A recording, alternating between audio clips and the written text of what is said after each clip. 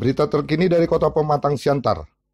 Pemerintah Sumatera Utara, Dinas Sumber Daya Air PU Cipta Karya dan Tata Ruang melalui unit pelayanan teknis Babolon melaksanakan kegiatan daerah irigasi Bakapul dengan luas wilayah 179 hektar, termasuk daerah pertanian Kelurahan Gurila, Kecamatan Sitalasari, Kota Pematang Siantar, Sumatera Utara. Namun sangat disayangkan, minimnya peran Dinas Pertanian dan Ketahanan Pangan Kota Pematang Siantar dalam melaksanakan sosialisasi menyebabkan pola tanam tidak merata.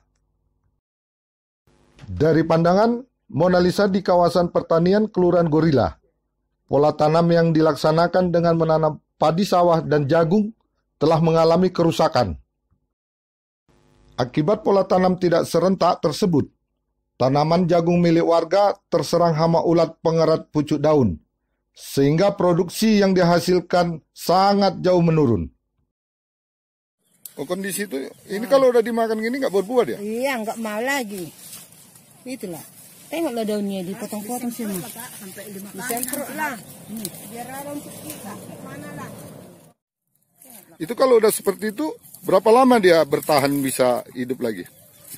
Iya kalau disemprot dia kembali. Disemprot kembali gitu. Bentar lagi kembali lagi. Datang lagi ulat-ulatnya itu. Entah apa ulatnya itu saya nggak tahu. Entah di akarnya itu. Tanaman kami bisa. Dengan kondisi ini? Pernahnya datang ke sini. Hmm. Tapi ke mana lah kalau udah panen datang orang itu. Panen kan. Waktu dalam kondisi ini belum ada pernah datang orang Kami itu? nggak pernah kasih tahu sama orang itu. Gitu. Oh, kelompok taninya ada ketuanya nggak? Ada. Iya, Yang yang tadi lah. Itu tadi bapak itu tadi? Iya. Itu ketua kelompok taninya? Iya. Itu bendaharanya itu. Bendahara? Ya, semen tapi udah meninggal dia. Tapi Oh gitu. Karena kayaknya dua minggu ya. Dua minggu. Udah dua minggu, mulai udah apa itu? Mulailah dimakan ulat Nah. dia. Udah Tumbuh apa, dia agak kuning-kuning, berlubang-lubang. sama nih dia tumbuh semua. Hmm. Tapi udah tumbuh dia udah dimakan ulat gitunya itu Pak. Eh, artinya dengan kondisi ini udah berapa lama eh, terjadi terhadap Dua minggu, dua minggu? dua minggu atau tiga Umur dua minggu ya? Iya, Jadi untuk mengantisipasinya kami pompa lah. pompa ya? Apa nama racunnya?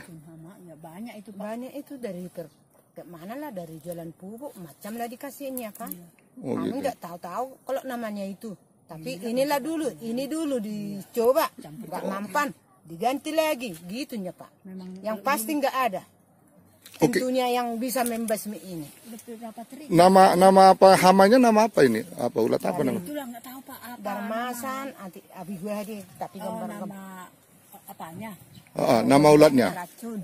racun. Enggak nama ulatnya ini? Ulatnya Ah, nggak tahu. kita Pak iya. Nggak Nggak ada yang tahu. memeriksa ke dalam, nggak pernah nampak kita. Kalau itu nggak tahu Pak. Jadi pihak apa sendiri eh, dinas pertanian ada nggak melakukan eh, eh, artinya penyuluhan kemari? Ya mungkin nggak ada yang melapor Pak. Iya. Cuman kerja sendiri disemprot kalau udah tengok jagungnya udah banyak ulat disemprot gitu aja nggak. Oh gitu ya? Iya, mungkin nggak pernah dilapor, nggak ada yang melapor. Kita sendiri nggak melapor Pak. Inilah ki- udah bergulung-gulung ini nggak bagus lagi nih Pak. Kalau udah bergulung-gulung kayak gini. Bagus itu. Sampai lim- Udah ada ulat di dalamnya itu. Udah ada ulatnya itu ya? ini udah lumayan lah jagung ini Pak. Ada itu di dalam itu biar apa? Gitu nih itu. Kita ambil ulat Tapi waktu kecil ini waktu dua minggu tiga minggu udah ada di dalamnya itu. Itu pasti dapat iya. Pasti itu dapat. Ada ulatnya ya? kukunya itu terpotong lah di tengah.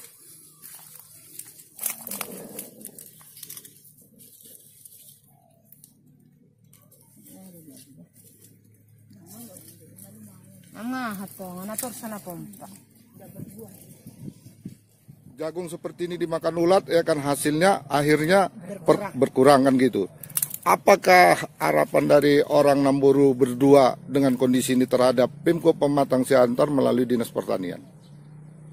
Kami meminta Pak, ini supaya bisa dibasmi ulat-ulat tanaman kami ini Hmm. biar bagus Pak, biar bisa kami makan, mencukupi anak-anak kami sekolah gitulah Pak. Karena kami nggak tahu apa penyebabnya ini. Ulatnya pun kami nggak tahu entah apa namanya gitulah. Jadi obatnya ditamakan bapak lah dulu bermohon sama Dinas Pertanian. dinas pertanian. Itulah, Pemko Pematang Siantar ya. Oh, Namburu juga gimana harapannya? Sama ya. Selain daripada ini, apa kira-kira lagi yang menjadi kendala? Persoalan pupuk ya? Ya pupuk lagi pak, pupuk kami langka karena mahalnya kami minta berkilo-kilo lah, nggak bisa lagi ambil bersakan. Mm. Jadi karena itu kami kita jadi nggak bagus lah Oh, iya. kurang pupuk Oh, produktivitas menurun lah istrinya ya tanpa Iya. dipupuk ya. Eh, dengan kondisi inilah ya kan, berapa dibeli di apa di pasaran di eceran kalau umpamanya di pasar di pajak oras gitu berapa per kilo per kilonya? sekarang 8.000 7.000 Tujuh ribu delapan ribu ya. iya Orea juga Urea. Kalau biasanya kalau subsidi berapa diambil? 3.000 kan. 3.000 entah dua setengah Iya. Pokoknya lebih murah lah ya. Ya jauh lah.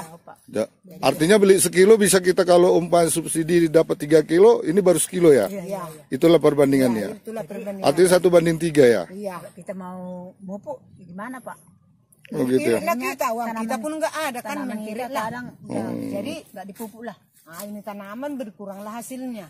Gitu ya. Iya kami dari pupuk itu kan kami bisa tambah pupuknya, tambahlah hasil tani kami. Dari kota Pematang Siantar, Sumatera Utara. Kemas Edi Junedi, Mona Lisa mengabarkan.